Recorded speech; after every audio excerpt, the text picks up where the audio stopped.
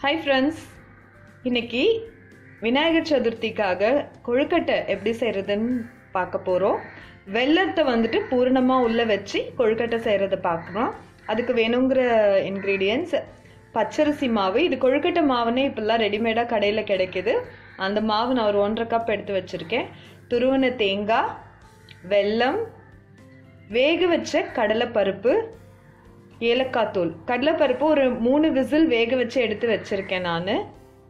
அதை இப்படி எடுத்தீங்கன்னா இங்கே பாருங்கள் இது வந்துட்டு இப்படி நசுக்குனா இந்த மாதிரி வரணும். இந்த பதத்தில் இருக்கணும். ஸோ ஃபஸ்ட்டு வந்துட்டு நம்ம மாவை ரெடி பண்ணி வச்சுட்டு அதுக்கப்புறமா பூரணம் செய்யலாம். இப்போ மாவை எப்படி ரெடி பண்ணுறதுங்கிறத பார்க்கலாம். மாவை ஒரு பாத்திரத்தில் போட்டிருக்கேன். இதில் ஒரு கால் ஸ்பூன் உப்பு ஆட் பண்ணுறேன் நான். உப்பு ஆட் பண்ணி இதை வந்துட்டு மிக்ஸ் பண்ணிடணும். இங்கே ஒரு பாத்திரத்துல தண்ணி சூடு பண்ணியிருக்கேன் தண்ணி வந்துட்டு நல்லா கொதிக்கணும். நல்ல ஒரு பாயிலிங் கன்சிஸ்டன்சி இருந்தாதான் இந்த மாவு போட்டு பிசைறதுக்கு கரெக்டா இருக்கும். நல்லா இப்ப கொதி வரட்டும் இது. இந்த மாதிரி தண்ணி நல்லா கொதிக்கணும். இப்படி கொதி வந்ததுக்கு அப்புறமா இது நம்ம எடுத்து மாவுல ஊத்தி அப்படியே மிக்ஸ் பண்ணணும். பாருங்க கொதிக்க கொதிக்க. கொஞ்சம் கொஞ்சமா தண்ணி மிக்ஸ் பண்ணுங்க. எடுத்த உடனே நிறைய போட்டுறாதீங்க. இப்படி கொஞ்சம் கொஞ்சமாக ஊற்றி ஊற்றி நம்ம மிக்ஸ் பண்ணிகிட்டே வரணும்.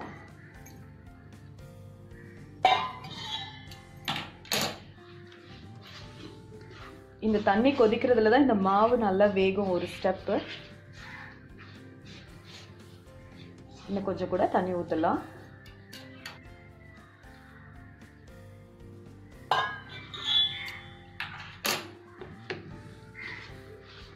நல்லா இப்போ இதை மிக்ஸ் பண்ணிடணும். மாவு இந்த மாதிரி பிசைஞ்சாச்சு. இப்போ இதில் ஒரு ஸ்பூன் எண்ணெய் ஊற்றணும் எண்ணெய் ஊற்றுறது வந்துட்டு கையிலையும் ஒட்டாமல் வரும். இன்னொன்று மாவும் விரிசல் வராமல் இருக்கும் உங்களுக்கு. அதுக்காக தான் இந்த எண்ணெய் ஊற்றுறது இந்த அளவுக்கு நல்லா மிக்ஸ் பண்ணிவிட்டு கொஞ்ச நேரம் ஆற வச்சிடலாம். அதுக்குள்ளே நம்ம அடுத்து பூர்ணம் ரெடி பண்ணிடலாம் இது ஆறுறதுக்குள்ளார இப்போ பாருங்க எவ்வளோ நல்லா மாவு வந்திருக்கு. நான் வந்துட்டு மாவை ஜலிச்சு எடுத்து வச்சது. அந்த மாதிரி பண்ணும்போது உங்களுக்கு கட்டி தட்டாமல் வரும் உங்களுக்கு. ஸோ இப்போ இது கொஞ்ச நேரம் ஆறட்டும். நெக்ஸ்ட் நம்ம பூரணம் ரெடி பண்ணிடலாம். பூரணம் செய்கிறதுக்கு ஃபஸ்ட்டு வேக வச்ச கடலைப்பருப்பை மிக்சியில் போட்டு நம்ம தூள் பண்ணி எடுத்துக்கலாம். இப்போ நல்லா தூள் பண்ணியாச்சு. இந்த மாதிரி இருக்கணும் உங்களுக்கு தூள் பண்ணது. இப்போ இதை பேனில் போட்டு வெல்லம் சேர்த்துடலாம். இப்போது நெய் ஒரே ஒரு ஸ்பூன் நான் ஊற்றிருக்கேன் ஒரு பேனில் நெய் சூடானதோ பவுடர் பண்ணி எடுத்து வச்சிருக்க கடலைப்பருப்பு நம்ம இதில் போட்டுடுறோம். ஜஸ்ட் ஒரு மூணு விசில் வச்சா போதும். ரொம்ப வேகணும்னு அவசியம் இல்லை. கடலைப்பருப்பு வேக வைக்கும்போது. இப்போ இதை கொஞ்சம் அந்த வாசனை நெய்யில் வறு வறுக்கும் போது அந்த வாசனை நல்லா இருக்கும். அதுக்காக தான் இந்த ஸ்டெப்பு லேசாக வறுத்ததுக்கு அப்புறமா இப்போ நம்ம இதில் உங்கள் ஸ்வீட்னஸ்க்கு தகுந்தாப்புல வெல்லம் சேர்த்துக்கலாம். வெல்லம் போட்டதும் கொஞ்ச நேரத்தில் அப்படியே இலகி வர ஆரம்பிக்கும். அதுக்கப்புறமா உங்களுக்கு கொஞ்சம் கொஞ்சமாக திக்காக உங்களுக்கு திரண்டு வரும். இது மாதிரி கொஞ்சம் கைவிடாமல் மிக்ஸ் பண்ணிகிட்டே இருக்கணும். கடலைப்பருப்பும் வெல்லமும் நல்லா மிக்ஸ் ஆகிடுச்சு நான் வந்துட்டு ஸ்வீட்னஸ் கொஞ்சம் கம்மியாக இருக்கட்டும்ங்கிறதுக்காக வெல்லம் கம்மியாக சேர்த்துருக்கேன். வெல்லம் நிறைய சேர்த்தீங்கன்னாக்கா உங்களுக்கு நீர்த்து வரும். அதுக்கப்புறம் அது திருப்பி நீங்கள் சுண்டி வர வரைக்கும் நீங்கள் கடாயில் வைக்க வேண்டியது இருக்கும். நான் கம்மியாக வெள்ளம் போட்டிருக்கிறதுனால இந்த கன்சிஸ்டன்சி உங்களுக்கு வந்துருச்சு. இப்போ இதில் தேங்காய் சேர்த்துடலாம். துருவி வச்சிருக்கிற தேங்காய் ஏலக்காய் தூள். இது ரெண்டும் போட்டு மிக்ஸ் பண்ணி ஆஃப் பண்ணிட வேண்டியது தான் கொழுக்கட்டைக்கு உண்டான பூரணம் ரெடி ஆயிடுச்சு. இந்த கன்சிஸ்டன்சிக்கு இருக்கணும். இப்போ இதை எப்படி ஸ்டஃப் பண்ணுறதுங்கிறத பார்க்கலாம். இப்போது ஸ்டஃபிங் பண்ணுறதுக்கு ரெடி ஆகிடுச்சு இந்த மாதிரி மோதகத்தோட மோல்டு உங்களுக்கு கிடைக்கும். அதில் வந்துட்டு உள்ள எண்ணெய் கிரீஸ் பண்ணி எடுத்து வச்சிருக்கேன். இப்போது இந்த அளவுக்கு மாவு எடுத்து கையில் நல்லா எண்ணெய் தடவிக்கோங்க இல்லைன்னா மாவு கையில் ஒட்டும். அந்த மோல்டு வந்துட்டு ஃபஸ்ட்டு க்ளோஸ் பண்ணிடணும். க்ளோஸ் பண்ணிவிட்டு இது உள்ளற இந்த மாவை வச்சு உங்கள் விரலால் சுற்றி அழுத்திட்டு வரணும். அதாவது சென்டரில் ஓப்பன் வரணும். அப்போ தான் வந்துட்டு நம்ம ஸ்டஃபிங் வைக்கிறதுக்கு கரெக்டாக இருக்கும். மாவு நிறைய இருக்குன்னு ஃபீல் பண்ணாக்கா கொஞ்சம் எடுத்துருங்க. ரொம்ப கனமாக வேண்டாம்.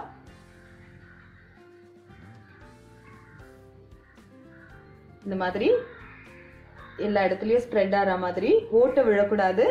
போட்டுட்டு இப்போ இதுக்குள்ளார வந்துட்டு ஸ்டஃபிங் நம்ம ஃபில் பண்ணிடணும்.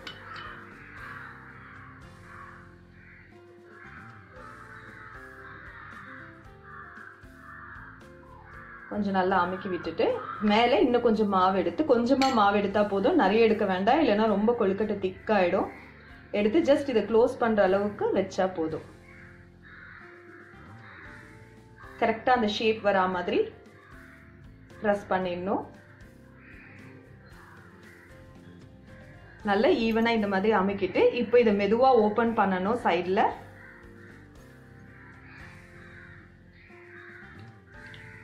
ஓப்பன் பண்ணிங்கன்னா உங்களுக்கு பியூட்டிஃபுல் ஷேப்பில் வந்துடும் இதை அப்படியே எடுத்து வச்சிட வேண்டியது தான் ஸோ இந்த மாதிரி எல்லாத்தையுமே ரெடி பண்ணிடுறேன். எல்லா மோதகமும் இந்த மாதிரி மோல்டில் போட்டு எடுத்து வச்சாச்சு. எவ்வளோ பியூட்டிஃபுல்லாக வந்திருக்கு பாருங்கள் ஒரு ஸ்டீமரில் வந்துட்டு லேசாக எண்ணெய் தடவி நான் அது மேலே வச்சுருக்கேன். இங்கே வந்துட்டு தண்ணி கொதிச்சிட்ருக்கு. கொதிக்கிற தண்ணி தண்ணி நல்லா கொதிக்கும் போது நீங்கள் வச்சீங்கன்னா தான் நல்லா குக் ஆகும் உங்களுக்கு. தண்ணி அப்படியே ஊற்றிட்டு வைக்கக்கூடாது. ஸோ இப்போ இது கொஞ்சம் கொதிக்கட்டும். இப்போ இதில் கொழுக்கட்டையை வேக வைக்க வச்சிடலாம். ஒரு பத்து நிமிஷம் இப்போ இது வேகணும். வெந்ததுக்கப்புறமா எப்படி இருக்குங்கிறது பார்க்கலாம். பத்து நிமிஷம் ஆயிடுச்சு. ஓப்பன் பண்ணி பார்க்கலாம். சூப்பராக ரெடி ஆயிடுச்சு. விநாயகருக்கு இந்த மாதிரி செஞ்சு எல்லாரும் நெய்வேத்தியம் வைங்க. ரொம்ப டேஸ்டியாக இருக்கும். இந்த வீடியோ உங்களுக்கு பிடிச்சிருந்ததுன்னா லைக் பண்ணுங்கள் இது வரைக்கும் என்னுடைய சேனல் சப்ஸ்கிரைப் பண்ணலன்னா ப்ளீஸ் சப்ஸ்கிரைப் பண்ணிவிடுங்க தேங்க்யூ ஃபார் வாட்சிங்